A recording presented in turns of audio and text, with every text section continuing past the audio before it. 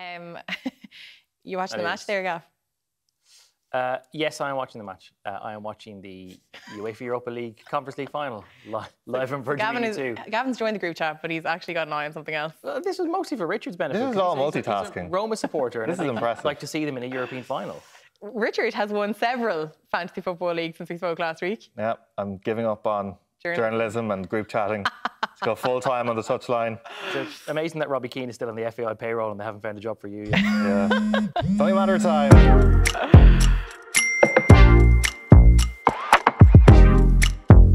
Hello, you're very welcome to the group chat. I am news correspondent of Virgin Media News, Richard Chambers. I am joined by my fellow news correspondent, Zara King, Hello. and political correspondent, Gavan Reilly. Hello there. Uh, we will start today with the news which is making headlines uh, across the water from us, and that is the Sue Gray report into Dun, the dun, parties dun. at Downing Street. Details of drunkenness, of fighting, of late night parties at the heart of government in Downing Street laid bare in a damning report by senior civil servant Sue Gray.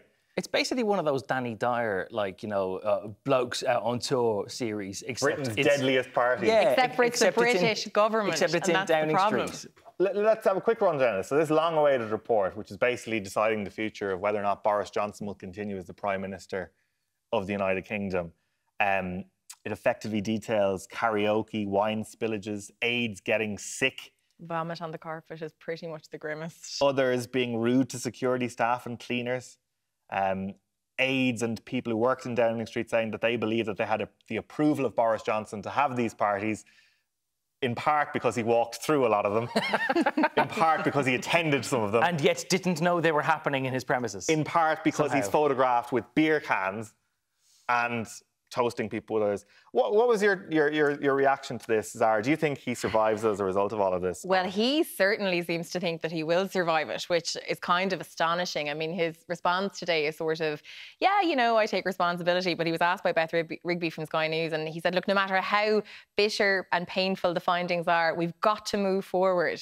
And by move forward, he means Let me off. let me off. And I mean, four o'clock wine time in the office in the middle of a lockdown mm-hmm. when you know citizens of that country were unable to see one another and say their goodbyes at funerals all of that seems to have escaped boris johnson his mm. response today Well, I, I think it's remarkable. Even whatever about the, the ostensible explanation that people are allowed to let their hair down because they're all working flat to the map because of the pandemic and there's so much crisis. First of all, the same attitude obviously did not apply to emergency medics or anyone working in the Yeah. NHS at the same time. But secondly, th- the the ostensible claim that you deserve to wind down with a couple of beers or wine and, and an awful lot of cheese. It was a huge amount of cheese referenced in this report.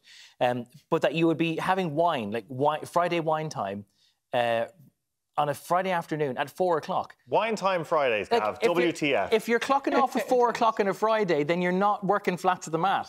Yeah. Like I, I just don't don't understand that as logic. What I think is remarkable is that it, it seems to have been. Not only did, did this not strike too many people, there are some exceptions where it clearly did mm-hmm. strike them as being a little bit off, or that the optics would be terrible.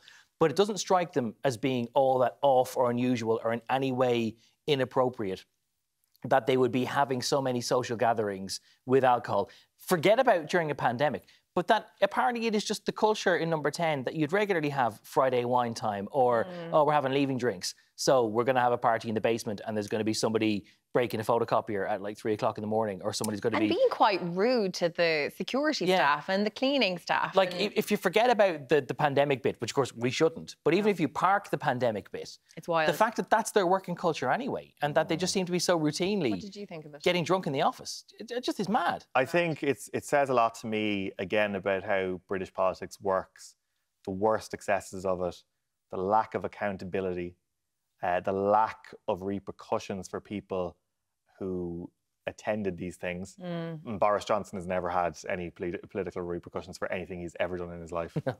Just keep getting Um, promoted, basically. his uh, relationship with the truth is how it's uh, often um, described in the British news media. The, the relationship with the truth. But he- means you're As- as if either it's- telling it or you're Yes, not. as if it's something that you can sort of interact with from afar. Like, the, the point you're making, Zara, about how they treated custodians and cleaners Yeah. and security. The fact that in Laura Kuenssberg's um, panorama piece for the BBC Mm. uh, earlier on in the week, um, she spoke to one um, custodian at Downing Street who basically told him there was a party going on with about 30 people in the room. She was like, please move away. They were mocked and jeered. yeah Um, that level of entitlement that they think that you can do this, mm. that you mm. can work in Downing Street, have parties that end at four in the morning, turn up for work the next day.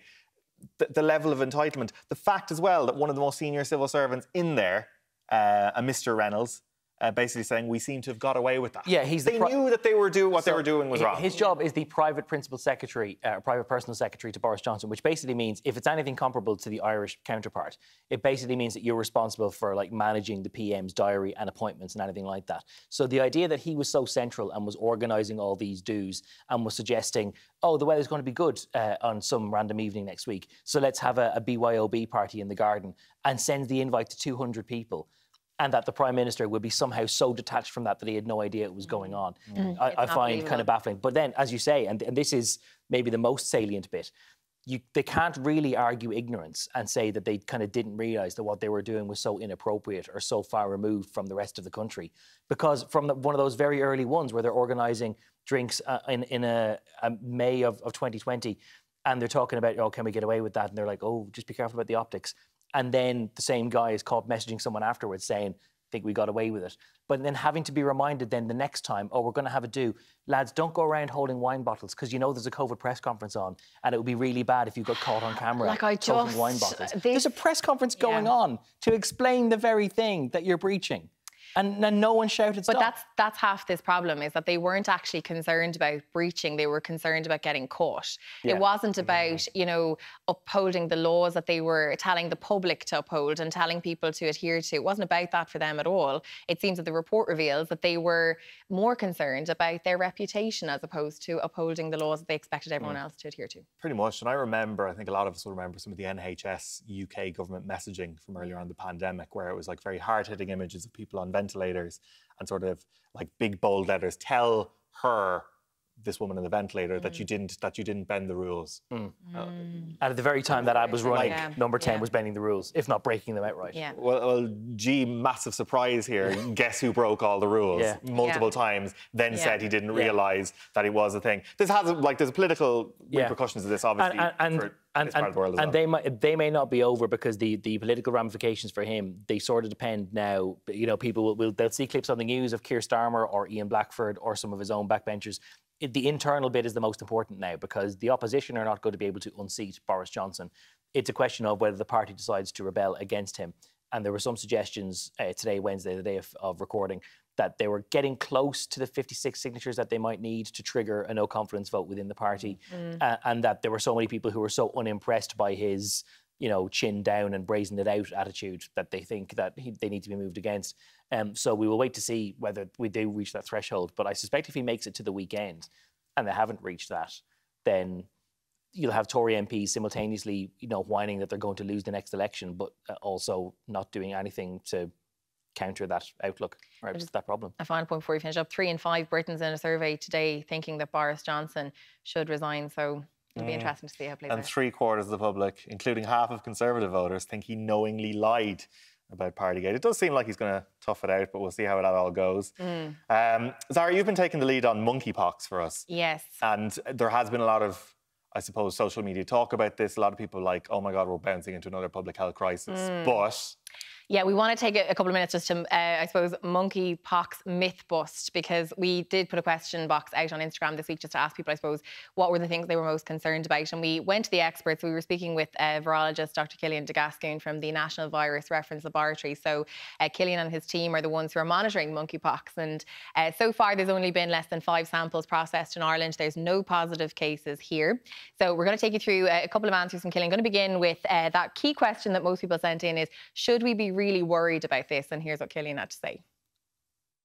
We're in a situation where globally immunity against smallpox is waning. Now, the question is whether that's provided an opportunity to monkeypox to re emerge or whether the event that we're seeing at the moment is just a single spillover event that's just uh, one of those things that happens every now and again where we get an outbreak of a, of a zoonotic infection. So at the moment, even though we've got, I think more than 150 cases have been reported across Europe at this stage, given the population of Europe, that's still a very small number. So no, I don't think people need to be unduly concerned at this point in time. I think a lot of people would have felt that they may never have had to have seen Cillian de Gascun or anybody who was previously associated with NPHET ever again. And the fact that they are now on television again probably will fill them with some alarm. But there's also an, an element of this is a very different situation from that which we were facing into at the start of the COVID 19 pandemic. Oh yeah, look, this is a completely different situation, and I think that's you know kind of the key point from uh, the likes of Cillian Gascun. He's sort of out to allay concerns, I would say. Um, look, a, a, lot of people kind of as well putting in questions like about their children. It was really interesting to hear that that children have yeah. some concerns actually when they hear monkeypox. Because I, I, guess they, they find it harder to distinguish between what we've seen for the last two years, and they, they don't they can't really register about how abnormal yeah. that is. That you don't see every public health threat as being this kind of existential crisis. So maybe it's kind of understandable they don't have that perspective. Yeah, and it was interesting actually because like a few people had said that they their kids were playing this game called monkeypox in the playground and everything that it had filtered down to that level, which is kind of sad to hear that really, and that they had some concerns. So uh, we put that to uh, Cillian de Gascun today. Uh, one lady who had said, um, "How worried should we be? My seven-year-old son is terrified about another virus and the potential impact it could have." And here's what Cillian had to say. No, and I think it's, it's, it's, a really interesting question after the last two years. But no, I think from a, a, child's perspective, this isn't going to be, you know, this virus is nowhere near as transmissible as, as COVID. It's not going to infect as many people as COVID, he says, famous last words. But generally speaking, we know that this virus is less infectious. One thing, actually, Zara, which I think um, people might have noticed about a lot of the, the international reporting of monkeypox so far, is that there has been a lot of stigma has been used in this, and this might, mm. you know, have some historic parallels. I know the United Nations was actually out earlier on on Wednesday, sort of saying that some of the reporting on this has been uh, racist, some of it has been homophobic, mm-hmm. and it has undermined the response. So obviously that's a concern when you have, you know, stigmas attached to public health concerns. Yeah. If the whole idea is to bring people forward mm. while stigmatizing them. Those who have kind of the yes. exact opposite of what you want to do. Yeah, so the latest report from the European Centre for Disease Control is just pointing to the fact that the majority of cases that are confirmed at the moment are in men who have sex with men. But the reality is, of course, that it's not just men who have sex with men who can contract monkeypox. And that's another question we wanted to put to Cillian de Gascun, and here's what he had to say about that. Yeah, and absolutely. I think like there was a family cluster in, in the UK that uh, hadn't hadn't linked. So I think the key thing from the virus perspective is that it doesn't it doesn't care about your sexuality and it's not targeting particularly particular individuals. The thing is, if people are either are shedding virus or have lesions and they have sort of prolonged sort of skin to skin contact or direct contact with somebody who's infected or somebody who's susceptible, then obviously the risk of transmission increases. But that really doesn't matter whether, as I said, whether it's homosexual sex or heterosexual sex or whatever sort of direct skin skin contact it is. So, Zara, just one question on this yeah. is like, how long do they think that this health scare is actually going to continue on for. Yes, yeah, so it's interesting. Cillian was kind of saying today that he doesn't actually think it will drag on for too long. He thinks that, you know, the incubation period is around 21 days, that the cases we're seeing now are people who would have become infected in the last couple of weeks. He thinks that, uh, I suppose, the awareness campaign now is having a big impact in terms of people knowing what to look out for and then uh, self isolating. So the people who have monkeypox or have those symptoms are isolating for up to 21 days. If you get it, it's a relatively mild illness in most cases. You know, it's a case of sort of seeing it out. There's mm. not even really uh, much treatment in terms of maybe, you know, if you've got a fever, perhaps some paracetamol or whatever. It's not really a majorly serious illness. There's, you know, two people I think at the moment in ICU in the UK, but ultimately, you know, the point that they're making, and I, just to summarise, I suppose, because I think there's just been so much about monkeypox this week. I really wanted to kind of get to, to experts like that and get the answers. Cillian is saying, look, don't worry about it. You know, like nobody should be in a mass panic about this at the moment. We don't have any confirmed cases in Ireland. Yes, they do expect that we will have confirmed cases in Ireland uh, over the next couple of days or weeks or whatever, but that ultimately uh, it's not going to be anything near the scale of what we saw uh, in COVID, and there's not going to be any lockdown. well, it, it's important, obviously, people being assured that this isn't a lockdown sort of territory, or even any kind of threat, yeah. is obviously good to know and, and worth reasserting as well. But it's also kind of good to remind people that actually maybe with a little bit of benefit of what we've lived through for the last two years, that it's possible almost to sort of nip this in the bud because now people know what sort of behaviours you need to do if you might be infected. That if, yeah. if you if you know what to look out for, and you know that there probably isn't any asymptomatic transmission like there has been with other viruses in the last couple of years, that actually you can stop the spread before it becomes so endemic that you can't ever put the toothpaste back in the tube again. And that's maybe a source of optimism that we're not hearing much about, but is worth bearing in mind. Yeah. Well, thanks for busting those myths, Zara. It's no something problem. I'm sure we'll have to come back to at some point. Uh, we'll keep an eye how this one turns out. Carl. Now, obviously, uh, this week, uh, so much of news coverage around the world has been dominated by the situation in Texas. 19 children, as of Wednesday uh, evening, were killed. Two of their teachers were also killed. They were barricaded in a classroom by uh, a shooter. All of the children who were killed were aged between seven and 10. Um, I think it's noteworthy, I suppose, that we talk a lot about how politicians react to things in Ireland on this podcast. And it's very easy to get despondent and disappointed and disheartened, I suppose, by how politicians react to things here. And there's a level of cynicism about some approaches. But I think that universally here in Ireland and most places in the Western world, people watching mm. how politicians react to these things in the United States, it's just alien that you automatically have this situation where, you know, we are 10 years on from the mass shooting in Sandy Hook, which was, you know, the worst one before this in recent memory. Mm. Um, all of the kids who died in Sandy Hook, um, none of them would have turned 18 even now. Yeah. Um, and that's 10 years on from then. And we have this situation where um, you're automatically hearing people who are, you know, parents of the Parkland shooting and parents of even Columbine going back to, to, to a, a, long way down the tracks. They're calling for answers, they're calling for action so that nobody else has to ever go through this again. And yet, people are. They're the same calls that we were hearing around the time of Sandy Hook. Yeah.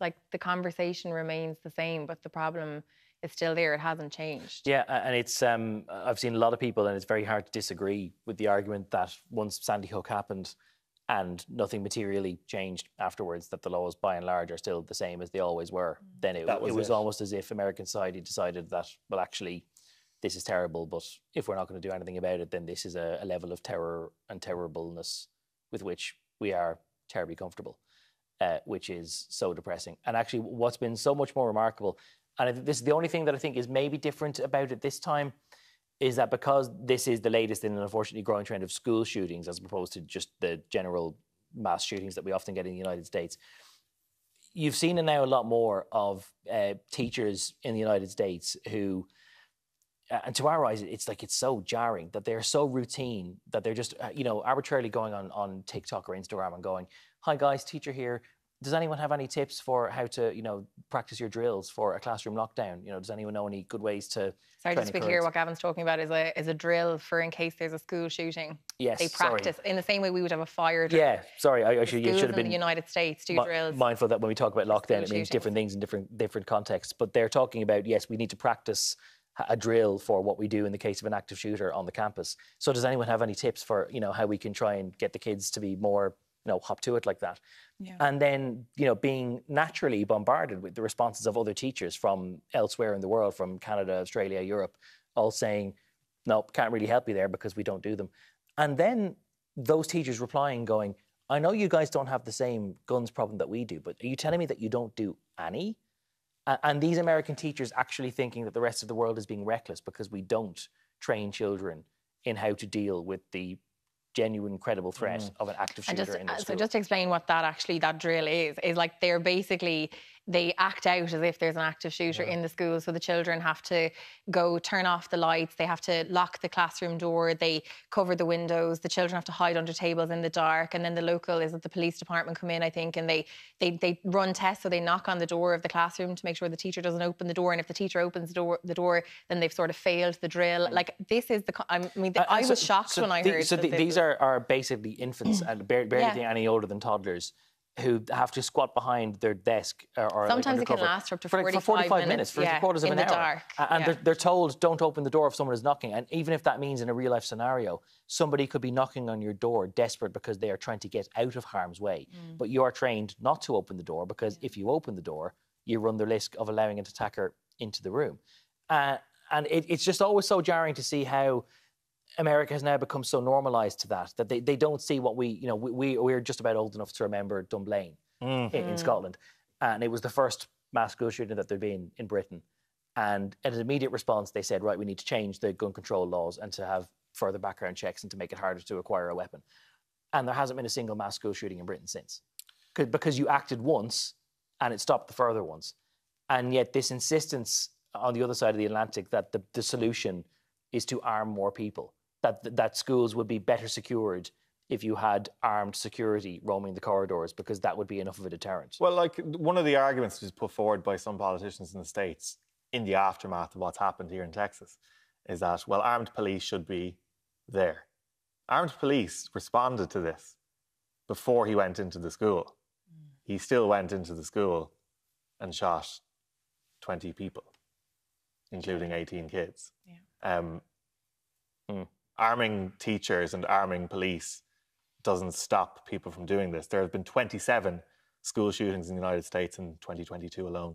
10 days ago, there was 10 people killed at a supermarket in Buffalo, New York, um, in a racist uh, gun attack there. There was also a shooting at a Taiwanese church in California. Um, I know we actually, it was only a couple of podcasts ago, we were talking about Roe versus Wade. And we were talking about, well, what are the Democrats going to do about this? And the answer was universally nothing. Mm. And I feel like we are already have there's an acceptance in the United States that once again it is going to be nothing is going to be the answer. That you have this idea that you have already Democratic senators saying, well, I don't know if we can go so far as to do this, but we, we'll do everything that it takes, apart from the stuff that would probably mm. make a difference. And they're already saying that this now has to influence how people vote in the midterms in six months' time, notwithstanding the fact that they already have a majority in the House, that they have the tie breaking vote in the Senate, and that it's their guy in the White House. And hmm. they're, they're desperate for some other mandate to enact their agenda because no matter how many children need to die before they decide that they've actually got enough power to do something with it. I- like I think as well, you know, the, the role of it, like there was a whole debate as well, like the governor had a press conference this evening and there was a whole debate over was it, you know, was it mental health? You know, was this man, was the shooter sort of failed in some way in terms of mental health? And is it is it the battle between mental health and guns? And I think sometimes you hear that a lot, don't you, from people who are pro guns, that this is not about the gun, it's about mental health. There was and- a s- a senator um, from Utah today was saying, "Well, I can't believe the left is pushing gun control when this is maybe this is something to do with fatherless children and the breakdown of the family." And it's like, well, if that's how the debate is going to be handled, Yeah. one statistic that jumped out to me was the fact now that among school children in the United States, guns have now overtaken cars as the leading cause of death amongst children in the United States of America. he went on social media, you know, the shooter beforehand on Facebook and posted, I'm going to shoot my grandmother, which he obviously went on to do. And then I'm going to shoot an elementary school. He posted on social media. You know, these are incidents that, you know, are sort of played out now online as well, which is completely and utterly horrific. Uh, but then to, you know, sometimes this, this kind of becomes like a, almost a parody because people just sort of treat America as being this basket case that is kind of unsolvable or that it just now exists for other people's sort of comedy or amusement almost. Like, I don't know if it's even fair to assume, again, like this idea that it's some sort of a mental health crisis that they need to get to grips with rather than a guns one.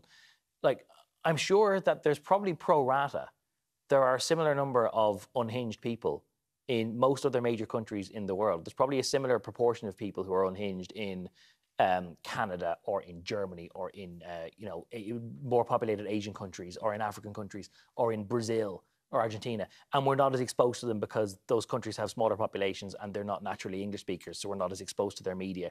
So I don't think America is necessarily any more broken a society than anywhere else.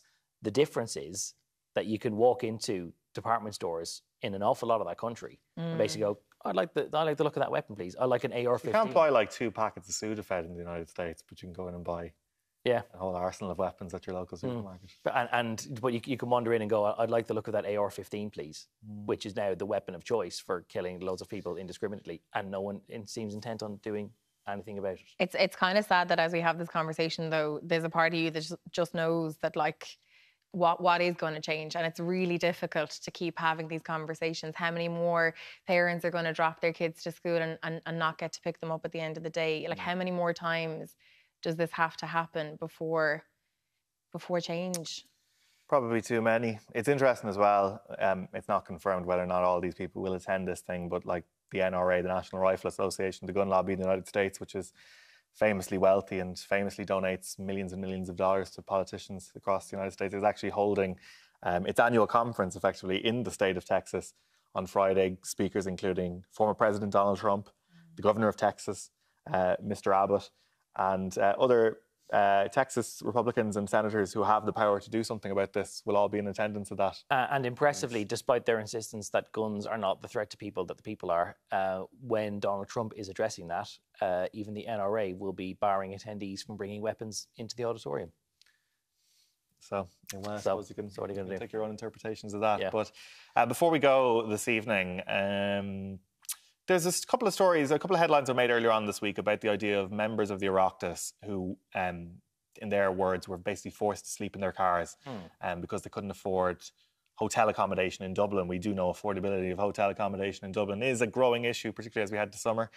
Um, there has been some backlash. There's been a bit of a there has been a discourse which has ensued Yeah. as a uh, result of this. And Gavan, what's what is your Well, I've been talking to a lot of people in Leinster House about this, and they were all somewhat aghast that any member of the Oireachtas, particularly then Senator Eugene Murphy, who confirmed uh, to our colleague Paul Quinn and to a few other outlets that he himself has, uh, on occasion, slept in his car because he couldn't get a hotel room in Dublin and then found himself too tired to commute all the way back to Roscommon, so he'd end up pulling in in Mullingar and, and sleeping in the car there beside a filling station instead.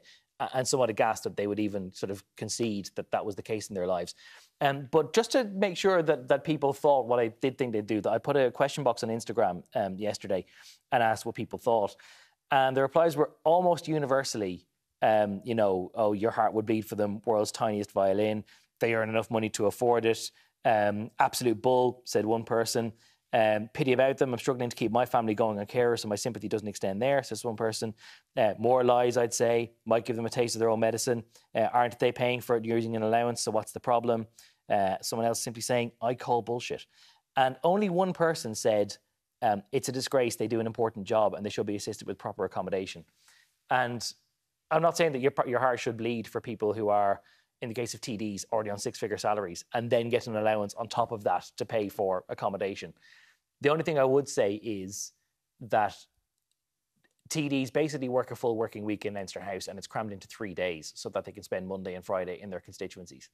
And if you think that somebody should be working in Leinster House from Tuesday afternoon until Tuesday night, first thing Wednesday morning until last thing Wednesday night, and for a lot of Thursday, and doing that work with the basis of four or five hours of poor sleep sat besi- behind their own steering wheel, then I don't think that's conducive to the best quality of governance in the country. And I think the very least you should be doing if you're making decisions about the running of the country is getting a few decent hours on a mattress. I think he kind of admitted himself though that he hadn't looked for B and B's, didn't he? He was saying that he hadn't actually kind of done a B and B search, that it was kind of just Yeah, hotels. So yeah, a- and th- I think a lot of people will probably feel though that like when you know you have to be somewhere for a job and you're doing things, it, like it does come down to kind of Yeah, you know, being and organise yourself. Like and, and none of us should be sleeping in our cars No. going to work realistically. But they and, and they all know that it's always going to be Tuesday nights and Wednesday nights Yeah. that are likely to be around Leinster House. So there's there's no sort of short term emergency. And it was also pointed out because there, there was some suggestions, or some people have allowed it to be believed that there is an allowance that they uh, they give themselves an annual allowance or a daily allowance of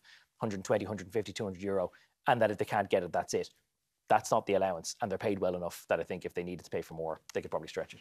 Really, last point. Uh, a Rose on Instagram tells us she tried to book a three star hotel for Bruce Springsteen, uh, 899 euro for the night. next year? Next year, 899 For a three star hotel, for one night for Bruce Springsteen. There can't get a night in Ennis to go and see me beating Clare weekend after next. Sorry, Richard. I care not. We have hurling. We always have hurling. uh, that is all we have time for on the group chat this week. Uh, thanks, Sarah. Thanks, Gav. Thanks, Thank you, And Richard. We'll probably be back next week. I'll see you then.